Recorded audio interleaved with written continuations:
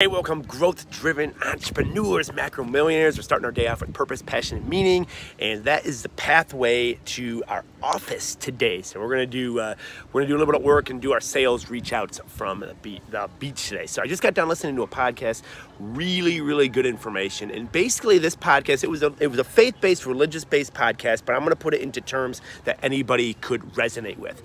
And he was basically saying that your business is a blessed activity. And he specifically said your coaching business, okay? Because this is a, uh, a, a website uh, for, or a podcast for coaches.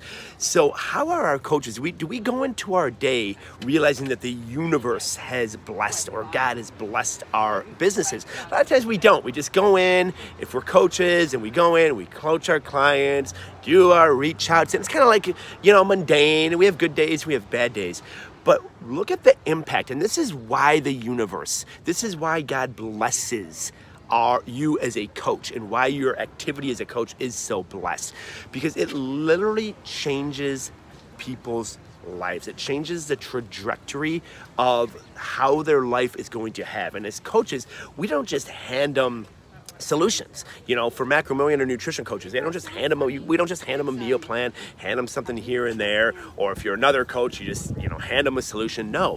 What makes this such a blessed activity as a coach is we have people come up with their own solutions, solve their own problems. They are they have ownership pure ownership. So we don't even have the significance of being like, oh, that person has a problem.